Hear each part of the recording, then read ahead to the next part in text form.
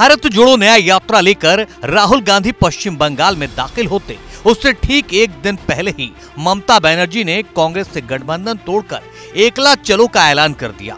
बुधवार को ममता ने कहा कि टीएमसी बंगाल में अकेले चुनाव लड़ेगी। उनका ये एक बयान विपक्षी गठबंधन पर बम की तरह फूटा है।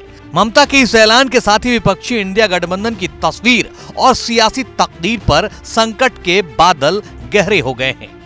उनके इस एक बयान ने इंडिया गठबंधन के भविष्य पर सवालिया निशान लगा दिए हैं। इस बयान के बाद सियासी गलियारों में चर्चाएँ आम है कि क्या इंडिया गठबंधन टूट गया।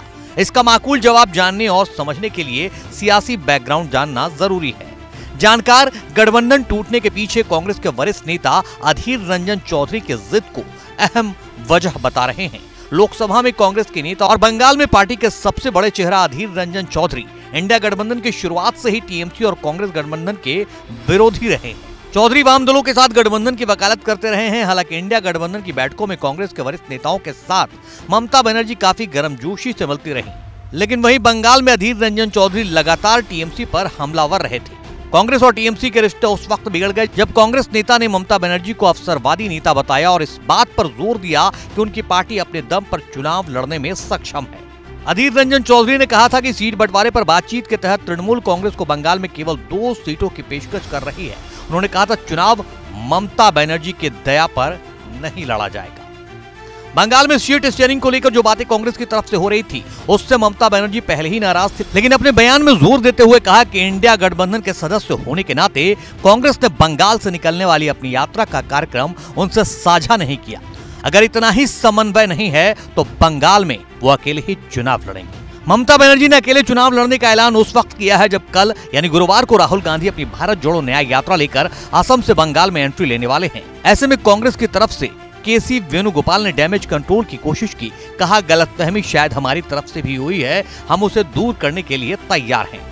Mamata Banerjee is the senior most leader of India alliance party we are respectfully saying that if there is any concern in her mind we will try and we will discuss and settle it हालाँकि विपक्षी गठबंधन को टूट के कगार तक पहुँचाने वाले ममता बनर्जी के कदम ने बीजेपी को बैठे बिठाए कांग्रेस पर हमलावर होने का मौका दे दिया है।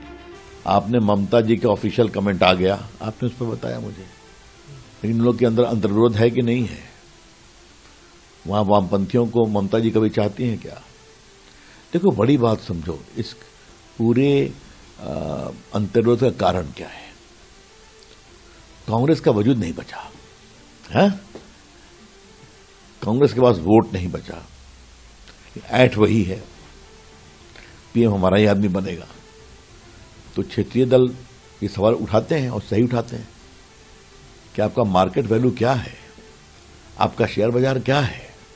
तो वो तो है नहीं। हालाँकि इंडिया गठबंधन को लेकर अभी भी गुंजाइश बाकी है, क्योंकि ममता बनर्जी की नाराज़गी रणनीतिक भी हो सकती है। माना जा सकता है कि बंगाल में ममता अपने रुख से कांग्रेस को सिर्फ़ दो सीटें लेने पर ही राज़ी करवा लें, क्योंकि कांग्रेस को सिर्फ़ बंगाल ही नहीं, पूरे देश में लड़ाई लड़नी है। अगर कांग्रेस बंगाल में पीछे हटती है तो ये भी उसकी रणनीतिक जीत होगी। इसलिए ममता बनर्जी और कांग्रेस के बीच हुए तनाव को इंडिया गठबंधन का अंत कहना शायद जल्दबाजी होगी।